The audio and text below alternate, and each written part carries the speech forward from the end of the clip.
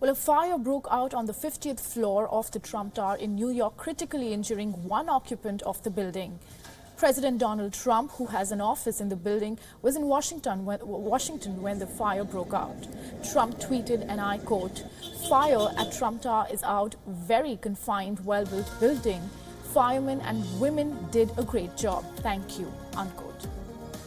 Responded in about five minutes to this building. We found fire on the 50th floor of this building. Quite a large apartment. Units made their way up to the 50th floor. The apartment was virtually uh, entirely on fire. They pushed in heroically. They were knocking down the fire. They found one occupant of, of the apartment on the 50th floor. He is in critical condition. He's been removed to St. Luke's Hospital. This is a very difficult fire, as you can imagine. The apartment is quite large. We're 50 stories up. The rest of the building had a considerable amount of smoke.